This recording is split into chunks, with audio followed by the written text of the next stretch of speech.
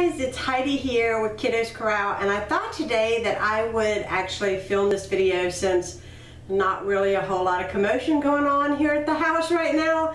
Uh, we've been re uh, reconstructing my bathroom and there's been a lot of banging and everything else because we're ripping out the sink and all of that. You guys will see that in a future video chance to kind of do a little bit of a chat video with you guys and get you all kind of caught up on things and and also to answer a question that I have been frequently asked here recently. Today, I have to say it's Sunday.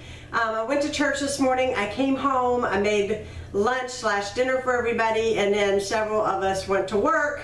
And uh, so yeah, um, Today it's not hot outside at all. It's like glorious outside. There's a breeze, the sun is shining, um, white puffy clouds in the sky. It's just like perfect weather today. And it's a little bit too chilly actually to go swimming, which is kind of a drag. but it gives me an opportunity to film this for you guys.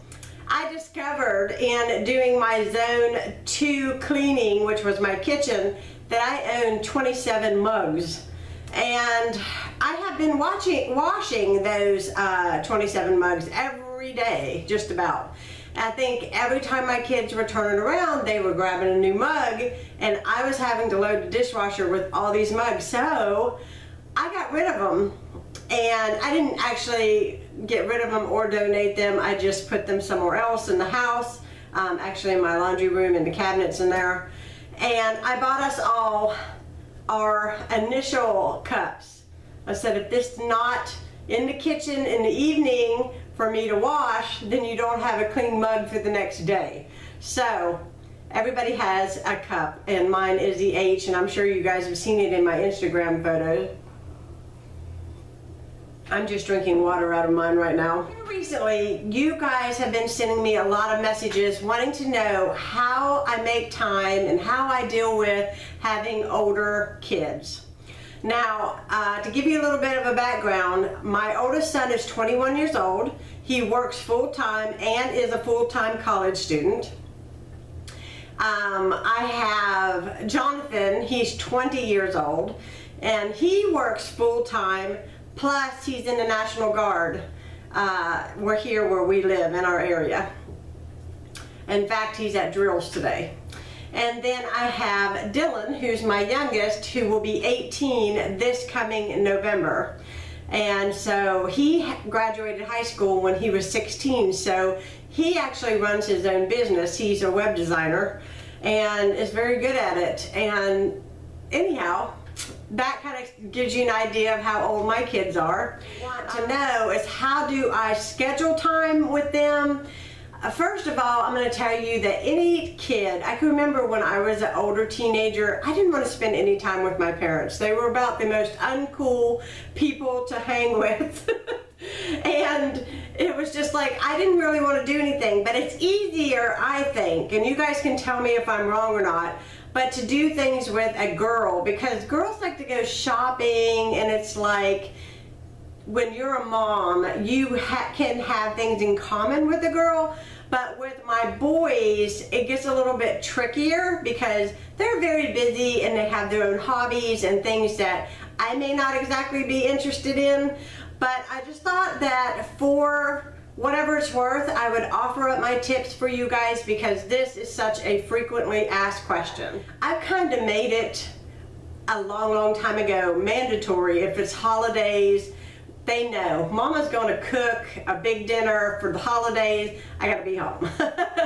Um, mama's going to have company for Memorial Day. Mama's going to do this for 4th of July um, and they're always here. I don't have to ask them to be here. They're always here. They're like, and if they want to do something outside of that, they will always come to me and say, hey, about 3 o'clock, um, you know, my friend wants me to go over here and do this on the 4th of July. And I'll say, well, we're going to eat about 1 and they're here to eat and then they go do whatever it is that they want to do. But I schedule it ahead of time with them and they do it vice versa with me so that because they know it's very important to me that they spend time with me. The other thing is is to know what your your kids like. Each one of my kids is completely different. So what makes one tick does not work for the other. So if I feel like I need a little one-on-one -on -one time, like with my oldest Lucas, I can always say, hey, let's go out here to the mall or let's go get a Starbucks coffee on your mom and he's all for that. He's like, oh yeah, let's get in the car, let's go. So I spend a lot of time with him, I think my oldest, because we seem to not clash at all in our likes and things like that. And so it's just so much easier to kind of get with Lucas for some reason because I don't know if it's because he's the oldest and he's been with me the longest, I don't know, but um, it's fairly simple to make time with Lucas. Plus we like music and we have a lot of similarities. Um, he didn't just inherit my eyes, he inherited everything else from me. My son Jonathan, he loves food. So if I want to spend time with Jonathan, usually I'm like, hey, let's go get a burger, or hey, let's go down here to Sonic and get ice cream. And, you know, I have to know what they like. You know, like recently, uh, to spend time with my youngest, I spent a long time in Sportsman's Warehouse, which is not one of my favorite places to go, looking at scopes for guns. Now, I have to tell you, I was bored out of my mind. But sometimes you have to give in a little bit and do the things that they want to do in order for them to kind of do what you want to do. So, you know, after we got done at Sportsman's Warehouse, of course, we went to Hobby Lobby and it was a little more my realm to kind of know what makes your kids tick. And, um, you know, and I gotta say, you know, there's a lot of emotions for a mom when your kids get older. It's like, they go from really needing you to not needing you so much and then you go through this period of panic when they get their driver's licenses because you know they have all this new independence and this new freedom and you worry about them and and then you realize you're not needed as much and and I mean it was really hard because I homeschooled all three of my kids and you know they have lives outside of me now and that's the way I think most of us moms want our kids. We want them to be sociable and to have their lives the way, you know, to be happy and to be around other people their age, obviously. It's healthy for them. At the same time, it's very, very hard on us moms because we have to let go. Even though my kids are older, they still want to spend time with me. It just may not be um, as much time. So a lot of times when I get asked these questions about uh, how to get them to be with me or spend time with me. I always say what somebody told me when my kids were really small. It's about quality, not quantity necessarily. And it's like the most, like the memories that I carry of my kids might have happened in a five minute period as opposed to an all-day, uh, you know, road trip. The last thing that I did want to mention was is scheduling ahead with your kids. A lot of times I'll say to them, okay, next Friday, er, who's free? Who's not working? And they're like, me, me, me, me, you know, because I know ahead of time. And I'm like, okay, I want to have a family game night. I'm going to make pizza. We're going to have family game night. We're going to play Monopoly, Uno. If we get tired of that, we'll turn on a movie.